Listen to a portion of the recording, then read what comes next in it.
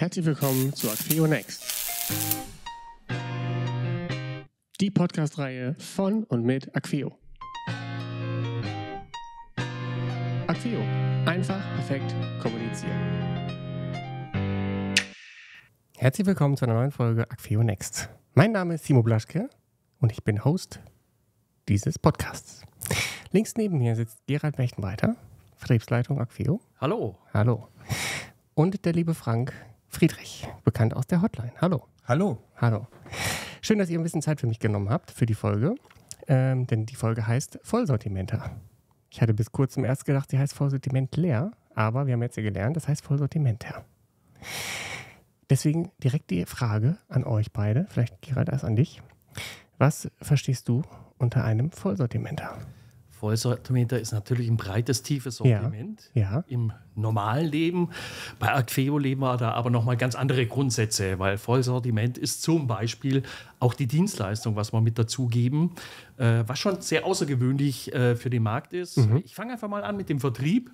Der Vertrieb ist bei uns äh, mit acht Leuten im Außendienst aufgestellt, der wirklich die Fachhändler äh, auch besucht, ja, nicht nur besucht im Sinne von, wir wollen verkaufen, sondern Hilfestellung anbietet etc. Dazu gehört auch ein technischer Außendienst und da haben wir noch viel, viel mehr. Und ja, ich möchte nicht vorgreifen, weil da ist auch äh, Frank da, Ja. der hier einen ganz wichtigen Bereich leitet. Frank. Ja, also wir, wir, haben da, wir sind da wirklich sehr, sehr breit aufgestellt. Ja. Ähm, also neben dem Vertrieb und dem technischen Vertrieb haben wir als es- nächstes natürlich die Hotline, telefonische Hotline, E-Mail-Hotline. Was ich persönlich auch gut finde, wo ich auch stolz drauf bin, wir haben ja eine eigene Reparatur. Aufgrund der Tatsache, dass wir selber fertigen, können wir natürlich auch hochgradig gut selber reparieren. Das macht uns natürlich auch in diesem Umfeld extrem nachhaltig und das macht in diesem Gesamtkontext dann natürlich auch äh, absolut Spaß. Und derjenige, der sich mit unseren Produkten beschäftigt, dem bieten wir natürlich auch Schulungen an. Und zwar Schulungen über das komplette Produktportfolio Ja. inklusive Smart Home und Netzwerktechnik. Ja. Auch das ist heute natürlich ganz, ganz wichtig. Und was, also wo wir im, am Ende natürlich, ich sag mal, auch besonders drauf stolz sind, wir entwickeln hier auch selber. Das heißt, wir sind hier made in Bielefeld mit im Prinzip ortsansässigen Entwicklern, Ja. die unsere komplette Produktpalette im Prinzip entwickeln. Und eins dürfen wir nicht vergessen. Wir haben hier auch äh, den eigenen Servicebereich bei uns, der auch unsere Produkte hier in Bielefeld dann wieder selbst repariert und das zwar nachhaltig. Und das in der heutigen Zeit ist sehr, sehr wichtig, Ja, gerade in der Zeit der Mentalität ist, wir werfen alles mal weg und kaufen was schnell neu. Ne? Aber das habe ich ja nun mal auch gelernt. Die Aquio-Produkte sind ja für die ja, Ewigkeit äh, gemacht, wenn man so möchte. Ähm, deswegen ist das umso schöner, dass das alles hier vor Ort stattfindet. Ähm, Frank, du hattest eben gerade das Wort Entwicklung gesagt. Was, ist, was wird denn entwickelt? Ja gut, Gerald, vielleicht musst du noch mal dazu. Da sind wir eigentlich beim äh, wirklichen Vollsortimentler, ne, wo wir einfach sagen, hier ist äh, die On-Premise-Anlage, die klassische, äh, die wir hier selber entwickeln, bis hin äh, zur Cloud-Thematik, die wir jetzt vor kurzem eingeführt Ja. haben. Äh, da sind wir ganz breit aufgestellt. Äh, alles, was der Fachhändler bei uns benötigt, kann er bei uns auch wirklich ziehen. Also ich bin da, also an der Stelle muss ich auch sagen, wenn du heute rausgehst und dich mit Telekommunikation auseinandersetzt, dann hat jeder, der draußen ist, eine bestimmte Vorstellung davon, wie er sich Telekommunikation vorstellt. Ja. Da gibt es die klassisch Aufgestellten, die haben eine Telefonanlage unterm Tisch oder im Keller an der Wand hängen. Das ist meine Telefonanlage. Das nennen wir heute On-Premise, also bei mir zu Hause. Darüber hinaus gibt es schon virtuelle, virtualisierte Telefonanlagen. Das ist bei uns das Produkt HyperVoice. Das ist also eine Anlage, die nicht mehr in einem Wandgehäuse läuft, sondern auf einem Rechner läuft und von dort ihren Dienst tut. Ja. Und die Spitze obendrauf, das ist jetzt neu unsere Cloud-Lösung, die Hyperphonie. Hyperphonie, ja. Aber ich will an dieser Stelle keinem unserer Produkte die Vorzüge geben, sondern du hast das, was in dein Umfeld passt. Und das ist nämlich ge- genau die entscheidende Lösung. Wir sind an dieser Stelle tatsächlich genau so aufgestellt, dass du die Lösung, die du brauchst, auch bekommen kannst. Ja. Von die Anlage unterm Schreibtisch bis zur Cloud-Lösung, im Prinzip von 2 bis 250 Benutzern, alles ist möglich. Ja, gerade der, der letzte Part ist natürlich jetzt sehr äh, Hyperphonie, ne? auf die Hyperphonie bespro ges äh, gesprochen. Ne? Genau. Da würde ich noch mal ganz kurz den Zuhörerinnen und Zuhörern und auch den Zusehenden, die wir bei YouTube natürlich auch haben, die Folge von letzter Woche empfehlen, beziehungsweise von, von letztem Mal empfehlen. Da ging es nämlich um das Thema Hyperphonie. Nur schon mal vorab, dass ihr Mhm. das mal gehört habt. Genau. Okay, jetzt ist es natürlich so, Ja. neben dem eigentlichen Kommunikationssystem, also da sind wir, ich sag mal, schon breit aufgestellt, Mhm. ähm, musst du natürlich, als wenn wir jetzt sagen, wir sind Vollsortimenter, musst du das natürlich noch ein Stückchen weiter äh, äh, denken. Absolut. Wir haben Endgeräte. Wir bieten Endgeräte mit Analogschnittstelle an. Wir bieten Endgeräte mit S0 UP0 Schnittstelle an und wir bieten heute natürlich auch Endgeräte mit IP-Schnittstelle an. Und damit hast du im Prinzip, äh, wenn du zu deinem Kunden rausgehst und du möchtest ihm eine Lösung anbieten, brauchst du nur unseren Katalog dabei haben und du hast im Prinzip alles, was du anbieten musst, in Anführungszeichen. Von einem einfachen Endgerät bis zum Hightech, im Prinzip Digital-Endgerät mit allem Schnick und Schnack dran. Im Prinzip kannst du es aus, äh, im Prinzip aus unserem Portfolio anbieten. Darüber hinaus haben wir dann auch eine schnurlose Lösung. Bei der schnurlosen Lösung, die ist immer IP-basiert, ist aber kompatibel mit allen unseren Lösungen, sowohl on- on-premise, Hyper-Voice, also virtuell und Hyperphonie. Und du hast eine unheimlich breite Palette von Einstiegsmodell über Business-Schick-Modell, Robust-Modell, hygienisch einwandfreies Modell. Also du hast die ganze Produktpalette im Prinzip, äh, was du an schnurloser Lösung mit anbieten kannst. Und dann ist das ist wieder, du hast einen Blumenstrauß, du musst nicht drei, Katal äh, drei Kataloge von drei Herstellern rausholen, sondern du hast unseren Katalog dabei und hast die komplette Palette äh, an Möglichkeiten mit dabei. Gerald, du, im Vertrieb sie, sieht man das wahrscheinlich äh, ähnlich. Ja, ist natürlich ein riesengroßer Vorteil. Dann haben wir noch den Systemgedanken 4.0 dabei, äh, dass wir eben äh, über die ganze breite Palette miteinander kommunizieren und viele Vorteile eben haben, äh, wo man einfach sagt, äh, das ist so äh, breit, umfangreich bis hin zur Smart Home Technologie, wo man eben unterschiedliche Themen verbindet, bedienen kann, bis hin zur Türklingel. Aber auch das Highlight für mich immer ist das Dashboard, dass ich auf meinem Computer alles sehen kann äh, und bedienen kann. Und äh, das ist einfach ein Knaller. Bis hin zur App natürlich. Darf man nicht vergessen, heute jeder auf seinem Smartphone, Klar. äh, dass man da alles bedienen kann. Das ist schon umfangreich. Äh, und das ist, glaube ich, auch der große Vorteil von Acquio eben hier, äh, alles aus einer Hand zu bekommen, wo jedes Gerät untereinander abgestimmt und miteinander spricht, sage Ja. ich immer. Also da ist das Dashboard auch tatsächlich wieder so ein Produkt, was für sich praktisch alleine Vollsortimenter ist. Du hast im Prinzip die Steuermöglichkeit deiner Endgeräte. Du hast im Prinzip die Möglichkeit, darüber zu telefonieren. Es ist ja auch ein Softphone-Client.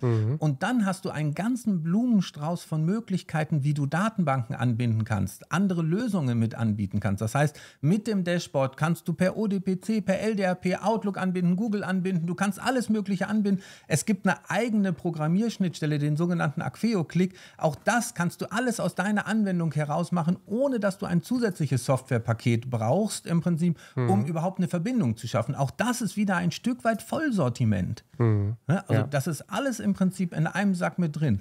Und wenn wir bei Vollsortiment sind und wir haben ein Telefon als Beispiel oder du hast das Dashboard, dann hast du auch ein Headset auf. So, und von wem kriegst du das Headset? Na klar, Natürlich von uns. Natürlich. Ganz korrekt. Und das ist noch eine breite Palette von. Ja. ja, das kommt noch dazu. Das Ne? Also auch da haben wir kabelgebundene Headsets für die Einstiegsklasse im, äh, äh, ich sag mal, im Callcenter. Mhm. Äh, überdeckt über USB, über äh, also auch die Bluetooth-Variante. die Bluetooth-Variante, genau. Also wir sind auch da äh, tatsächlich, ich sag mal, wirklich sehr, sehr breit aufgestellt.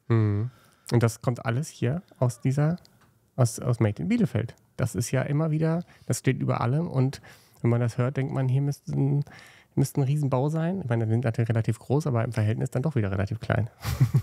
Muss man mal so sagen, wenn man das hört. Denkt man ja, das ist ja eine ganz, äh, eine ganz große Sache. Das heißt also, vielleicht könnt ihr die Vorteile eines Vollsortimenter noch einmal kurz, wobei das waren eigentlich ja sehr, sehr viele Vor Vor äh, Vorteile jetzt schon.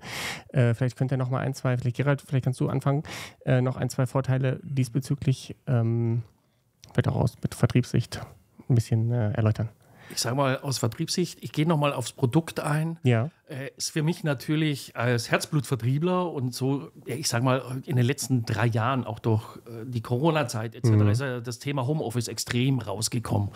Und wenn ich sage, wie arbeite ich selber mit unseren Produkten, ist für mich immer der Laptop mit dem Dashboard das Allerwichtigste. Ich habe ein Headphone, äh, Headset mit dabei mhm. äh, und mehr brauche ich eigentlich nicht mehr. Ne? Das ist alles dabei, ne? Deine, ist alles dabei. Ich kann überall arbeiten, ja. ob im Büro, Oder im in Auto. Schottland, lieber genau. Frank. Hatten wir ja erst erst. Ne? Ja, ja, genau. das ganz genau. Das wird, wird doch jetzt nicht mehr so einfach sein, das äh, wegzubekommen. Ja. Ja, gut. Ja, schön, das ist richtig, ja. Die, die, es ist einfach, es ist einfach. Das ist ja das. Immer wieder, ja, es ist simpel und einfach. Am Schluss für unseren Kunden, er braucht Acqueo und er hat alles aus einer Hand. Ja, also auch den Kommunikationsweg aus einer Hand. Also wenn, wenn, er, wenn er eine Frage hat, ruft er an und sagt, ich habe hier sowohl ein Software, wenn es mal was gibt, die seltenen Fälle, dann hat er mal ein Software-Thema, das kann er dann mit Frank besprechen. Gleichzeitig kann er aber auch wegen, des, wegen der Telefonie anfragen, ob Hardware oder Headset oder, oder, oder. Also das wirklich Entscheidende dabei ist im Prinzip, bei uns steht ja nicht auf den Geräten immer nur Acqueo drauf, sondern die spielen halt auch miteinander. Mhm. Wenn du andere Hersteller nimmst und du nimmst ein Telefon von X und das Headset von Y und dann die Telefonanlage ist Z und dann muss das alles auch noch miteinander spielen, das Problem haben unsere Kunden einfach nicht. Da, wo Acqueo draufsteht, ist Acqueo drin ja. und es spielt halt auch miteinander. Meine, das ist wirklich das Entscheidende. Manchmal reicht ein, ein Update von, von irgendeinem Betriebssystem und es bringt alles durcheinander. Das ist ja gerade der kürzlich, der vor nicht wenigen Tagen erst passiert. Also von daher, äh, gut, das ist aber nochmal ein anderes Thema davon ab. Ähm, ja, kann ich verstehen. Ist auch eine, eine gute ein wichtiges Thema, ja. ne? weil hierin höre ich immer wieder auch von Kunden, ne? mein Telefon ist schon 20 Jahre alt, ja, schließe es an, es funktioniert. Ne? Mhm. Das habe ich oft bei anderen Herstellern nicht. Die machen beim Telefon ein neues Software-Update rein und schon ist es vorbei, ja. äh, auch wenn ich es getätigt habe. Und das haben wir bei uns eben weg. Ja, ja. Aber jetzt haben wir so viele Vorteile gehört, so viel Tolles, als würden wir hier eine reine Werbung machen. Jetzt ist die Frage, es könnte doch auch Nachteile geben. Ich meine, irgendwas muss es doch geben, dass man sagt, naja, also wir sind zwar schön gut aufgestellt, wir haben ein riesen Ökosystem, aber es gibt schon ein paar Sachen. Natürlich gibt es auch äh, kleine Nachteile in Anführungsstrichen.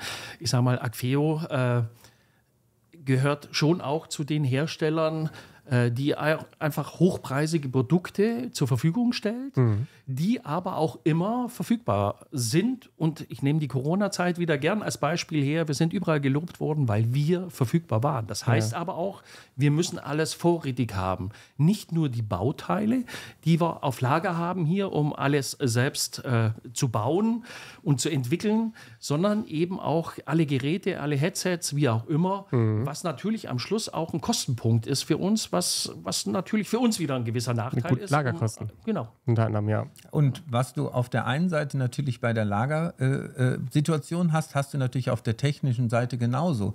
Die Interoperabilität, dass es auch wirklich miteinander spielt, das müssen wir natürlich auch mit jedem Update, was wir bringen, natürlich auch immer wieder sicherstellen. Ja. Das heißt, da wir einen großen Blumenstrauß haben, ist in unseren, Protest, äh, in unseren Produkttests auch immer ein ganzer großer Blumenstrauß, der getestet werden muss. Mhm. Natürlich ist das auch ein Nachteil, aber diese Arbeit machen wir gerne, weil wir nämlich genau dann das gute Gefühl haben, dass das auch funktioniert. Ja, das ist quasi ja schon fast kein richtiger Nachteil mehr.